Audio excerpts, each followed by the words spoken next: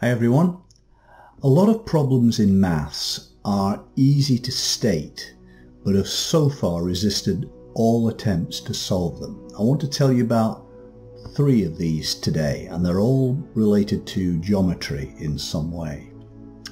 The first of them is called the happy ending problem and the reason it's called that is that the two mathematicians who first worked on it George Szekeres and Esther Klein actually met through their collaboration and eventually got married. The problem itself though hasn't yet so far found a happy ending, as we'll soon discover now as we talk about these three unsolved problems in geometry.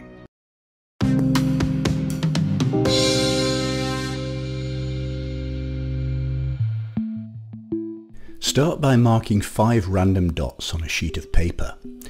It turns out that you'll always be able to join four of them so as to form a convex quadrilateral, a four-sided shape in which all the corners are less than 180 degrees. To be sure of making a pentagon, you'd need nine dots. For a convex hexagon, the minimum number of dots jumps to 17. But beyond that, we're into unknown territory.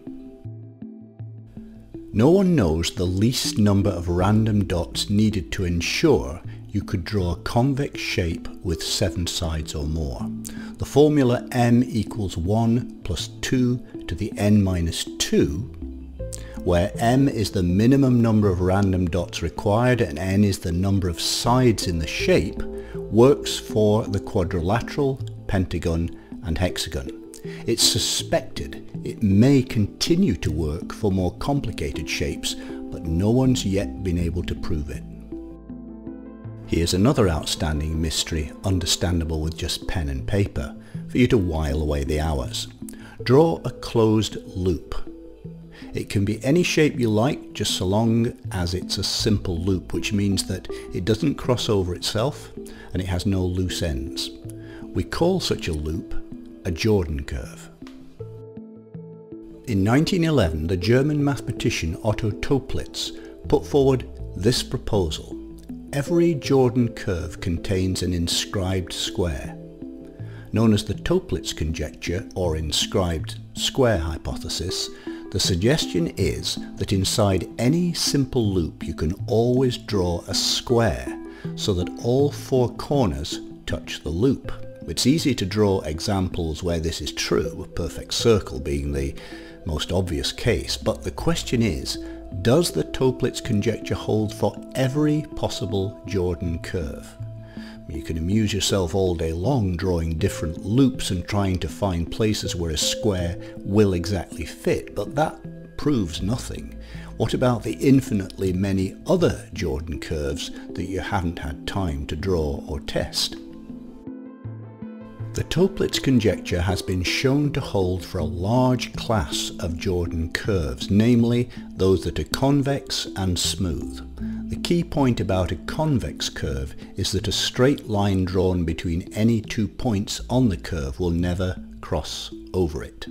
Smooth, in the mathematical sense, means that the slope of a line that just touches the curve, a tangent, never jumps abruptly from one point to the next. In plain language, the curve has no corners. But Jordan curves can be both concave and non-smooth, and this complicates the problem immensely.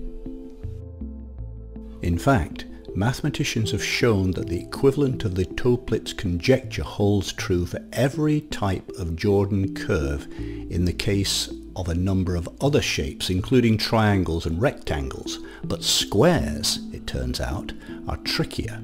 And so the hunt is still on for a proof that works for every possible curve, even those that have pointy bits or bow outwards. Stepping up a dimension brings us to an unsolved problem that takes us back to our school days. At some point, we all learn about Pythagoras' theorem, in a right-angled triangle, the square of the hypotenuse, the longest side, equals the sum of the squares of the other two sides. A Pythagorean triangle is a special case where all the sides have a whole number of lengths, familiar examples are the 3, 4, 5 triangle, because 3 squared plus 4 squared equals 5 squared, and the 5, 12, 13 triangle. In three dimensions, Pythagoras' theorem works equally well, but we need four numbers to take account of the lengths in the x, y and z directions, plus that of the diagonal connecting the endpoints. This brings us to the so-called perfect cuboid problem. Just as there are Pythagorean triangles where the lengths of all three sides are whole numbers, so there are some cuboids where the three edges in the x, y and z directions and the spatial diagonal across the box, four lengths in all, have integer values. But each of the three faces of a cuboid also has a diagonal. The perfect cuboid problem asks, are there any boxes where all seven of these numbers, giving the lengths of the three edges plus the four diagonals, are whole numbers? Mathematicians have come up with a few near misses. The shape known as an Euler brick is like a perfect cuboid, but its spatial diagonal doesn't have to be an integer length. The easing of this restriction allows solutions to be found.